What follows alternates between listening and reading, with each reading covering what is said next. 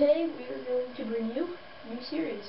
It's called the MLB Show, and it's going to give you daily news of all the news and transac transactions you need to know.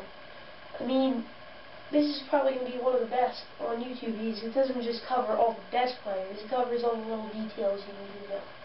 So, um, I hope you're getting excited because the MLB season's about to start. Uh, the spring training obviously coming up. I hope some of you guys are going because I am going to actually two games in late March. So it's break going to be right before uh, opening day. Going to see the Phillies, the Blue Jays, Red Sox, and the uh, Twins, I think. So that'll be fun. So our first topic is that uh, Manny Ramirez signed with the Athletics. Um, I think the Athletics signed uh, Manny Ramirez because, first of all, I mean, they need a slugger. And, I mean, this is basically why they need this guy.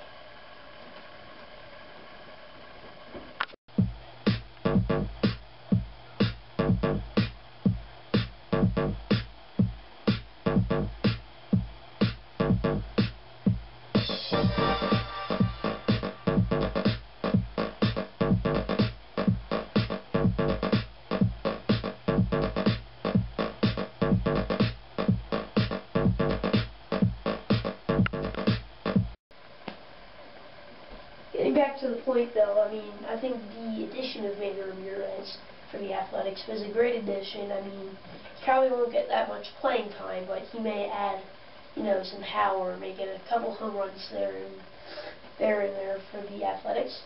So our second topic is that Raul Ibanez signs with the Yankees. Um, they signed Raul Ibanez because they were in need of a left-handed hitter. I mean, their left-handed side was not that good last year, so I think the addition of Ibanez could do them good this year, but I think will retire after this year. And this is the reason why I think the Yankees got him. I mean, he has a lot of power.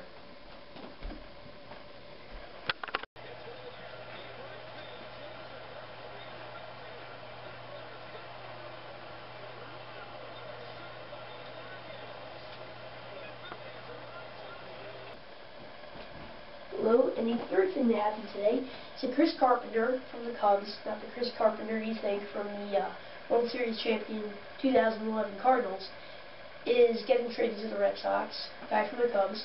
Um, it's an addition for the Red Sox, but it's not, you know, the big Chris Carpenter, one of the uh, really good pitchers on the Cardinals. Our last topic that we're going to be covering today is that um, Bobby Jenks of the Red Sox is going to be placed on the 60-day DL today.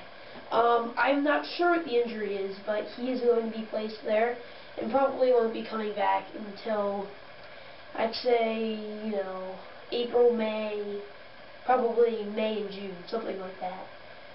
So uh, those are all the main details that have happened today and yesterday. I hope you enjoyed.